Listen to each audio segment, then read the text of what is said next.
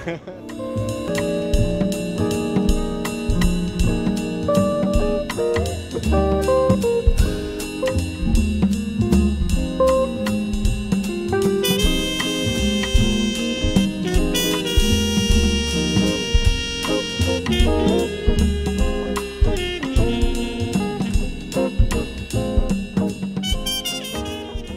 of this is a liquid helium refrigerator that produces liquid helium for the superconducting magnets.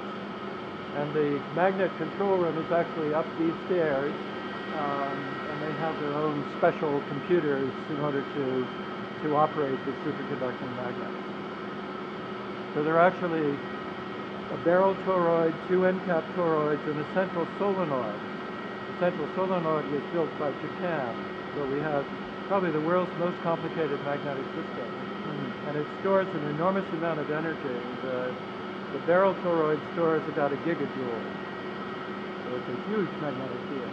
Actually, everybody who is allowed to come in the cavern will get their retina scanned, and like the CIA, you'll have to put your eyeball in this to identify you.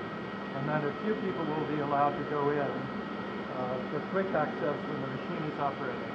When the machine turns off, um, it will cool down radioactively and larger numbers of people can go in. Right now we're, you're lucky because nothing, no radiation, nothing has happened, so everything is very quiet. But when we start operating, it'll become much harder to get in. That's a, a safety sign saying that there is an oxygen deficiency danger. So I've never of, seen such never a seen thing. thing. That's a very interesting warning sign. For the, I uh, would not have guessed for all the lack of oxygen. So we have uh, liquid we have liquid nitrogen, we have liquid argon down below.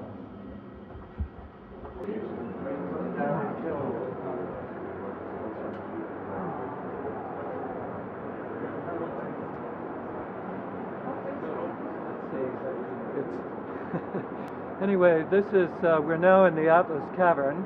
We'll walk on this catwalk from one end of the cavern to the other. And unfortunately, the grand view is blocked. so in order to see how large it is, you have to be a little daring and come to the railing and look down to where the floor is. Make sure your hard hat doesn't fall. And then look up, and you can see way up inside the, uh, the cavern, that's one of the access shafts. So, um, unfortunately, well, if you look straight through here, you can actually see um, to the other wall of the detector. So this particular view is much more grand when the end toroid, which is this device here, is moved back onto the beam line. At the moment, it's off to the side in order to install the small wheel, which is uh, one of the devices we actually made, contributed to in the United States.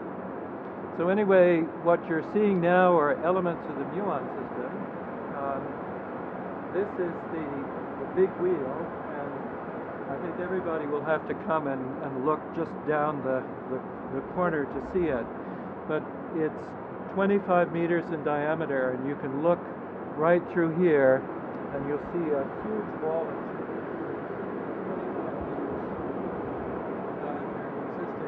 I don't know, hundreds and hundreds of trigger chambers.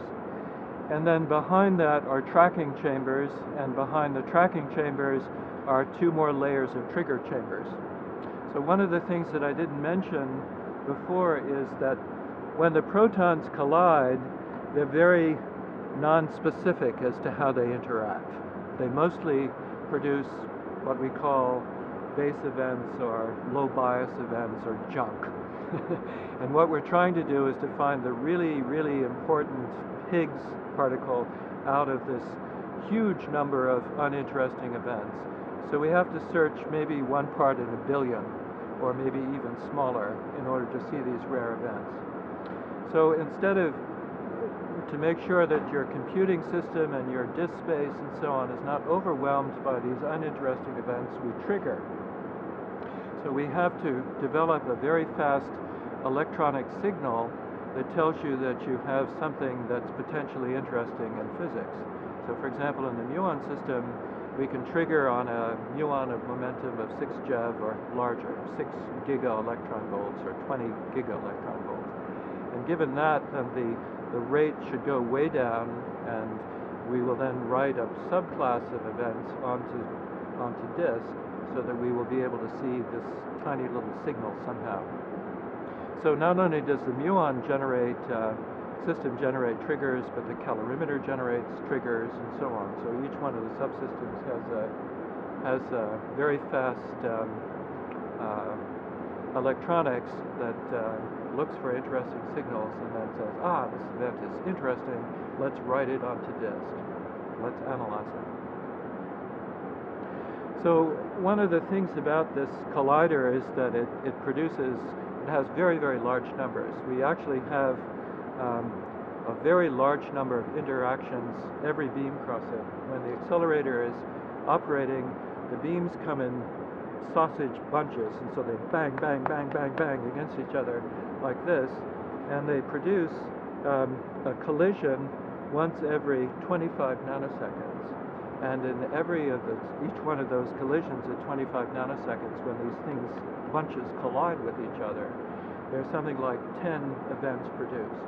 So you can imagine the enormously high rate uh, of events that we have. So you have to, out of this huge number of, of events, this tremendous flow of particles from the intersection point, we need to, to have fast enough electronics to be able to, smart enough trigger, and good enough software to be able to, to catch the rare event.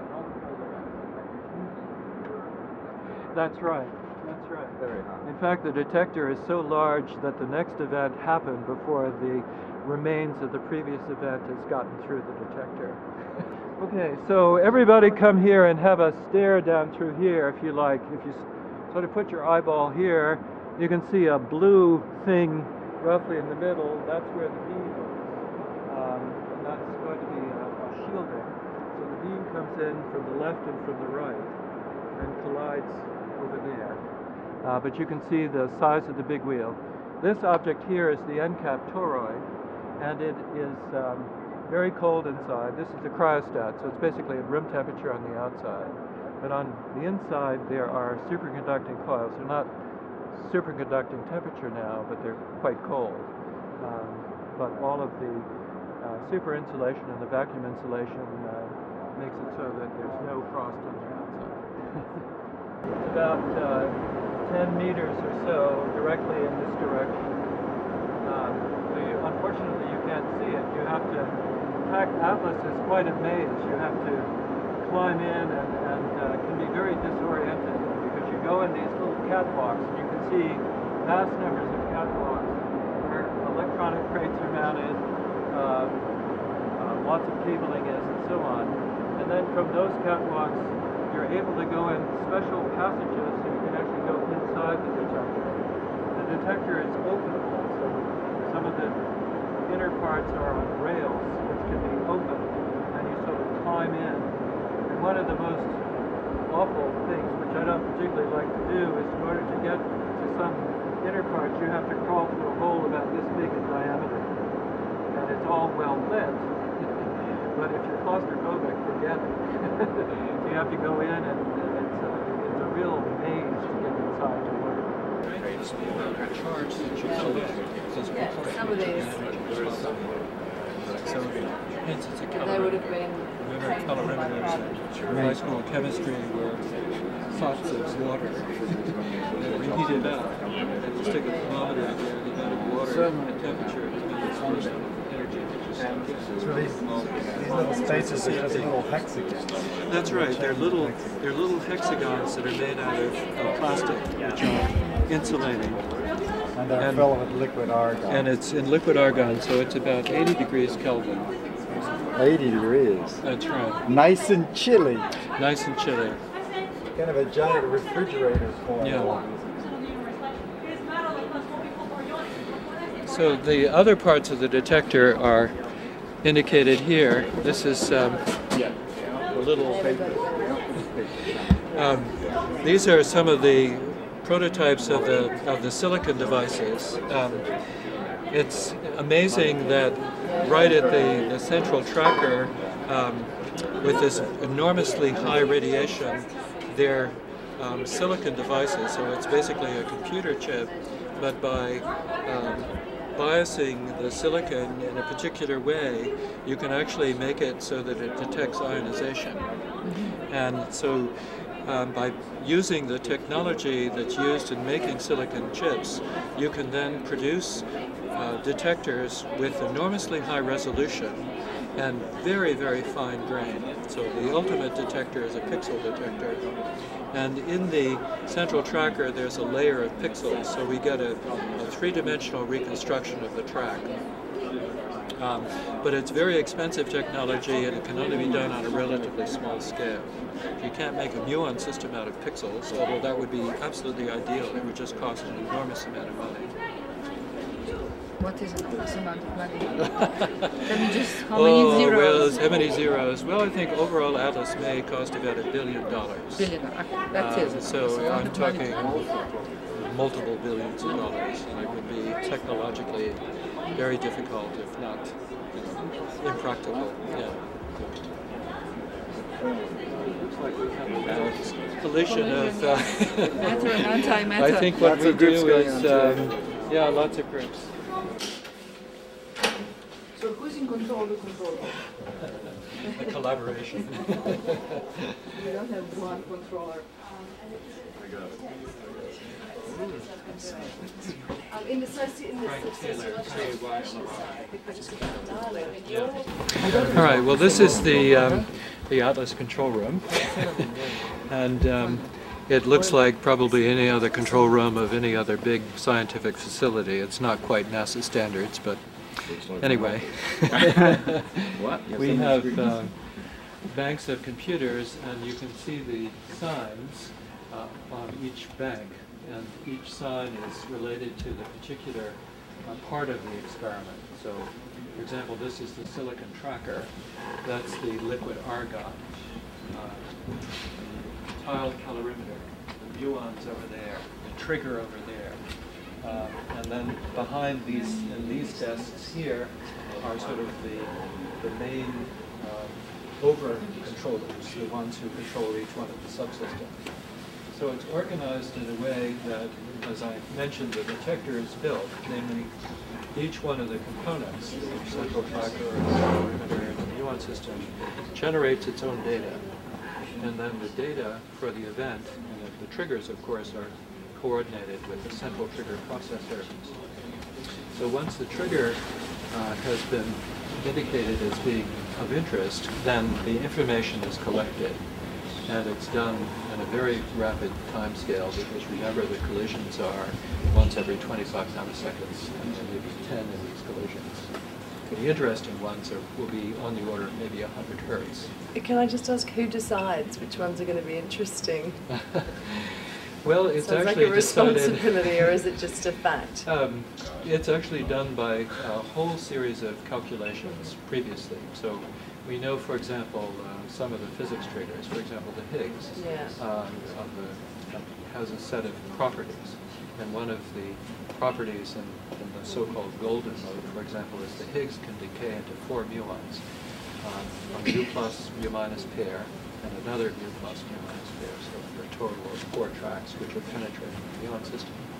So we then say, on the basis of simulation, what the signature of that particular process looks like. And on the basis of that, then you form your electronic thresholds and so on to match that. So you, you're alerted.